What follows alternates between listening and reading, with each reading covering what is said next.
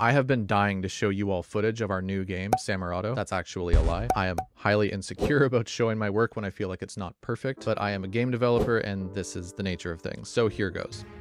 And obviously I am joking, this is not it, but this is what happened the last time I tried to make a roguelike, so it has been a while. So hopefully the new one turns out better. So here it is for real. Allow me to introduce Samurado, a ridiculously fast-paced roguelike game where you play as an enraged avocado, out for blood after your whole family's insides were scooped out and used for avocado toast. Uh?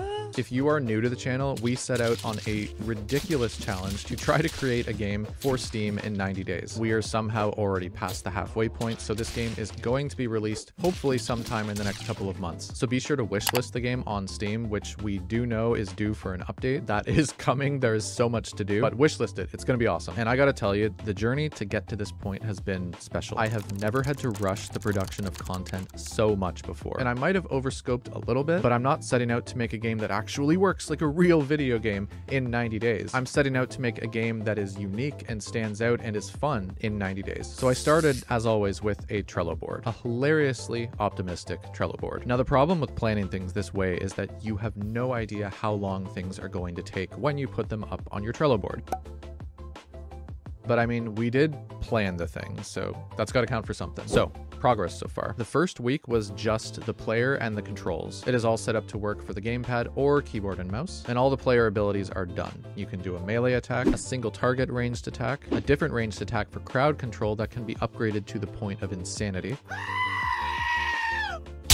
Interestingly, the hardest part in the first week was the billion animations I needed to make. I am so slow with creating animations, and I thought that the lack of feet and arms on the character would make it easier, but somehow I just wound up being more confused because of that. I'm pretty happy with how it turned out though. Week two was foundational stuff. A screen shake system, an audio manager with all of the menu controls, key rebinding options for some reason this early on, object pooling for performance, blah blah blah, all that boring stuff. But also, the blood. This was easily the highlight of that week, creating all all these different blood effects and particle systems. I had initially pictured like geysers and waterfalls and just making the whole thing absolutely over the top and ridiculous. Maybe it's too much, I don't know, but it makes me happy. The blood effects are made in the visual effect graph, which is much more performant with the trade-off of not really having any good collision detection. So blood does go beyond the walls and stuff, which honestly I'm fine with. While I did all of that, Nikki got to work on these adorable little guys. And I was worried that these guys would be hard to animate too, but it turns out their tiny little stumps actually helped me quite a lot. Look at them. They're so cute.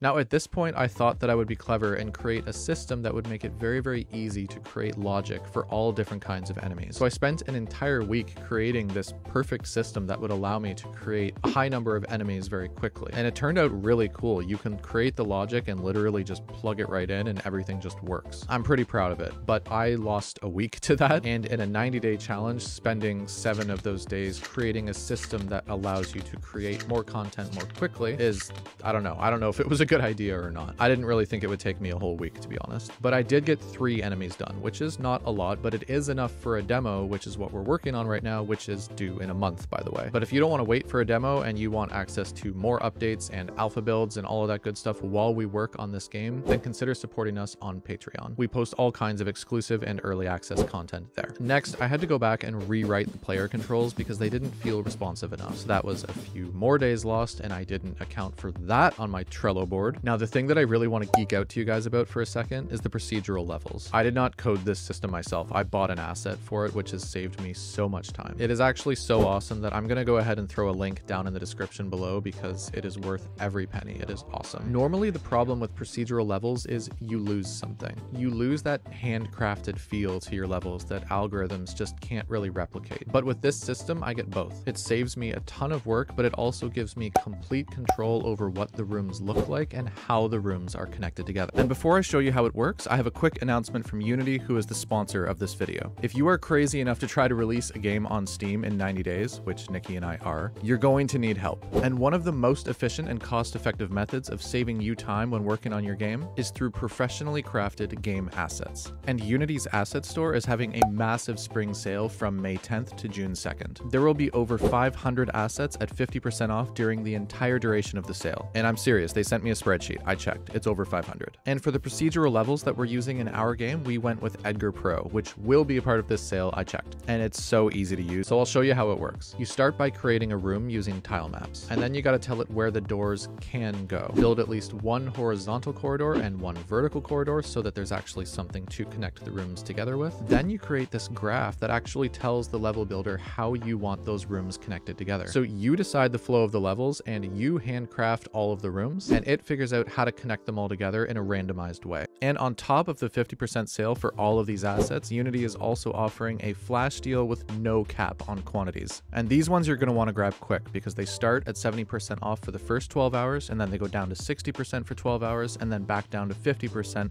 for the remainder of the sale, which is honestly still a really good deal. If you want more information, the time and dates of all upcoming flash sales will be listed on the Asset Store website with a countdown timer, so they'll be nice and easy to spot. Just click the link in the description to find out more. So we are halfway to our deadline already. We have a little game that's playable, but none of our actual core hooks are in there yet. All the stuff that's actually going to make the game really fun to play still needs to be created. I am exhausted. If you were thinking of making a game in 90 days, just don't. Seriously though, I am a little bit tired, but I am also having a lot of fun and I am enjoying the process. But there is still lots to do and so little time to do it. I don't know if we're to make our deadline of 90 days. I'm okay if we don't because I would rather delay the release of the game and actually give you guys something polished and good to play. But we are still going to try our very hardest to make it within the 90 days, so we'll see what happens. Like the video if you liked. Bye, guys. I want to give a very special thank you to all of our Hall of Fame patrons Jakob Bjonduk, Zonder Kessler, Darren Perrine, Throbbing Wind, Fontaine Waite, Couch, and Christopher Nichols, as well as our early access patrons Sioma, Ken Waite, and Mason Crow. If you choose to support us on Patreon, you can get early access to all of our YouTube videos, monthly alpha builds, and more.